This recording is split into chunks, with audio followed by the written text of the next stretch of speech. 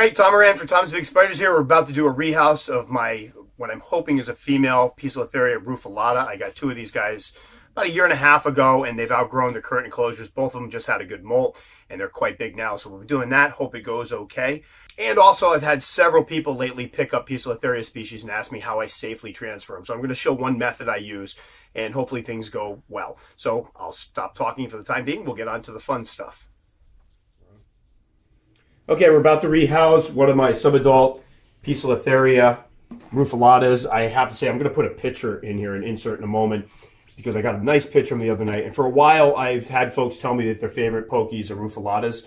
And I hadn't jumped on that bandwagon yet, but now that this one's molted and I've seen the adult colorations, they're absolutely amazing. Like the greens and yellows and just uh, Billy and I were looking at the other night, just floored with how beautiful they are. This is a larger species, but I've read mixed mixed comments about how flighty they can be. Mine seem to be pretty calm lately, so we're going to try to get this one out into this enclosure here, and hopefully everything goes well. So I fed her last night, and she was eating earlier this morning, which probably would have been a good time to try to do this. I got these guys in April of 2016, and they're about an inch long each and I rehoused them into these actually uh, exactly a year ago today. And now we're going to be rehousing them again. So they'll be going into one of the extra large critter keepers. I'll talk a little bit more about these in a minute. Let's see if I can find my brush. Here. Thank you. So we're going to go ahead and try to tease this one up.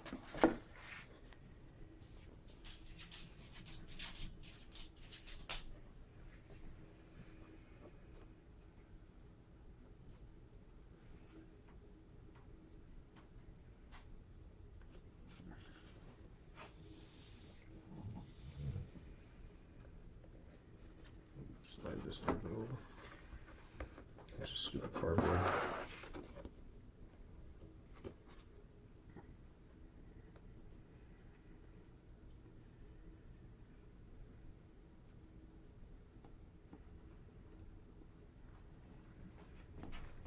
It about as gentle as you can possibly get.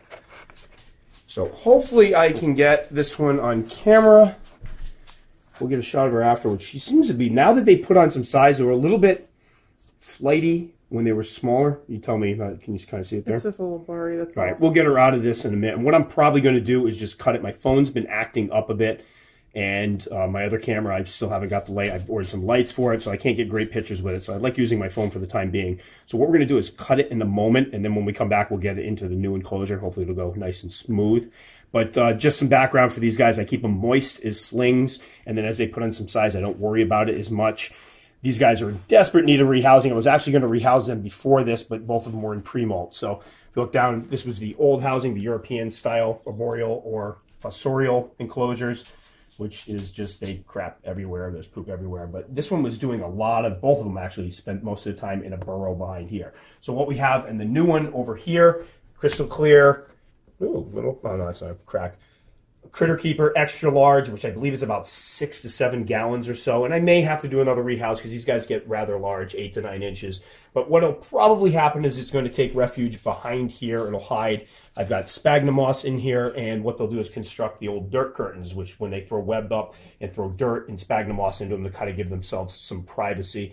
I have one of these Petco plants, which unfortunately they do not make anymore or do not sell because it stinks because I love them for the arboreal enclosures, water dish. So not nothing super fancy. I want the comfort, the spider to be comfortable, especially with winter coming. I want to make sure that I can control, make sure it doesn't get too dry in here. But we're going to go ahead and cut here, and the next one we'll be putting it into the enclosure. So.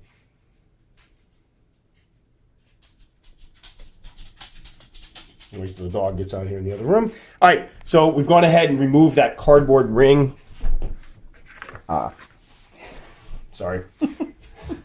I was hoping Billy was gonna pull the camera away. Um, this is just something here that I have. I use. I've been using them for a while. You don't have to do it this way, but for the ones that could bolt, this kind of gives you a little seal to make sure that they can't get out. I just use one piece of tape to affix it to this because what I want to be able to do afterwards is slide this right off so I can get it into the enclosure. If I have that big ring on it, it makes it a little more difficult. And I've had a lot of folks contacting me lately who have just gotten their first uh, pokies and they're terrified of rehousing them. That's a nice technique to use to keep you safe, the spider safe, the spider from bolting and getting out of there. So we're going to go ahead and drop her in here. Then I'm going to go grab my other brush from my room because I forgot to get it out. A new brush because my dog's chewed up the one I've been using for years. Not happy about that. Go ahead and try to move her down. Come on, girl.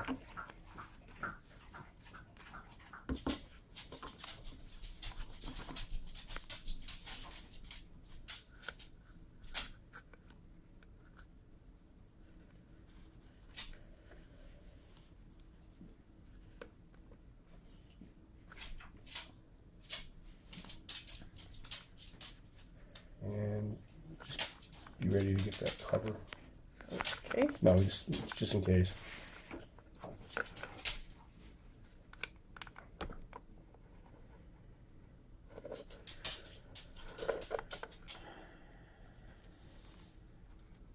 All right.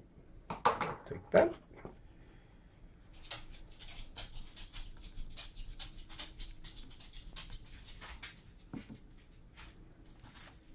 Do is give her one final poke so we can get the rest of that. My God, she's gorgeous.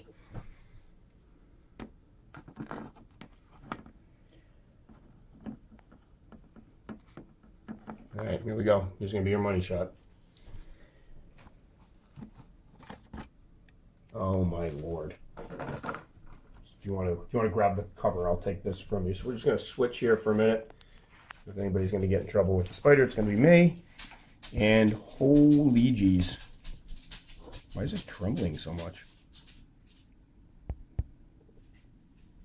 There she is.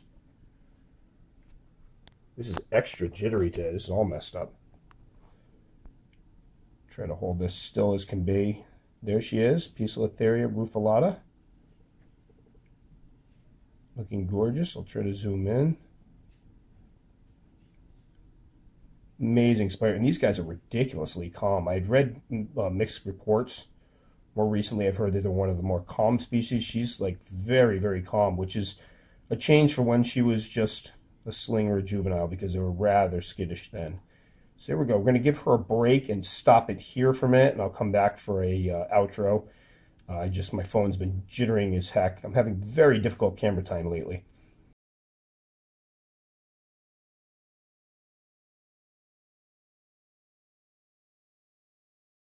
Try a different pose. All right, so obviously that went pretty well. Thank gosh, that was actually one of the best behaved spiders I've had in a rehousing in quite some time. And again, shows you that uh, the Poecilotheria, some of their reputation, I don't think is particularly well deserved. They're not speed freaks that are out to bite you. Most of them can be very calm. The problem is when they do get upset, they can bolt.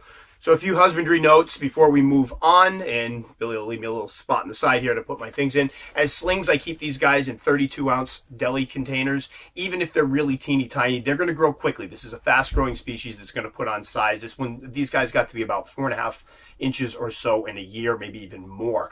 Um, I start with moist substrate, cork bark leaning in a corner, some sphagnum moss, and a water dish as they start to put on size, I don't worry as much about keeping the substrate moist. I will pour some water down the side, give them a choice, a place to drink on the side, and allow it to pool into the bottom and kind of soak into the bottom, but I let it dry up in between. I do keep the water dishes full.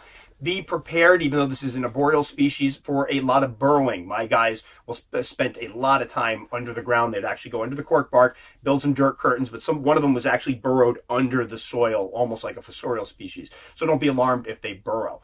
Once it's time to rehouse them, you can usually get away with three rehousing or two rehousings with these guys. The second one, I usually get them into something about yay big, maybe about a gallon size, a little bit more. Give them some space because again, they're going to grow fast. This is a spider that can potentially be problematic when you're rehousing. So you want to make sure you limit the amount of times you rehouse. So my other guys were in those gallon containers once they get to adult size, you're looking at something anywhere from 5 to 10 gallons or so. This is one of the larger Poecilotheria species, so something in the realm of 10 gallons is not overkill. My guys right now will be in one that's about 7 gallons, I believe is what that Critter Keeper is, and we'll play it by ear. If they get to be 9 inches like they supposedly can get, then it might be time to move them into something else. Um, they're eating machines. I feed them once a week. They'll eat full-grown dubia, no problem. Uh, they take down crickets like beasts And temperature wise, they're all kept in the 70s most of the year, with the temperatures hitting sometimes 80 degrees or so in the summer. So no specific requirements there,